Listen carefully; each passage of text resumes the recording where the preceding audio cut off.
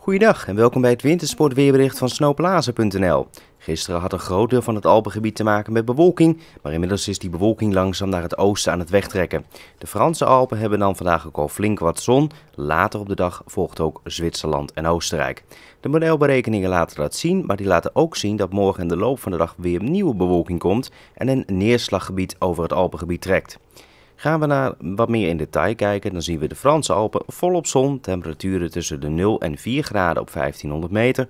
Boven de 2000 meter blijft het licht vriezen. Verder naar het noorden en oosten in de Zwitserse Alpen, in het westen veel zon, in het oosten meer bewolking en misschien nog een enkel vlokje sneeuw, stelt weinig voor. Iets verder naar het zuiden, de Italiaanse Alpen, de Dolomieten, daar wat meer bewolking, temperaturen rond het vriespunt op veel plekken, valt 1 à 2 centimeter sneeuw, in de loop van de dag ook daar droog en meer zon.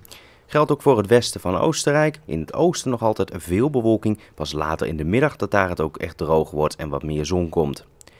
Morgen begint de dag met flinke zonnige perioden, zeker in Oostenrijk en het oosten van Zwitserland. Maar later op de dag komt er meer bewolking en volgt ook wat neerslag. Er valt zo'n 5 tot 10 centimeter in de Franse Alpen en later ook het westen van Zwitserland.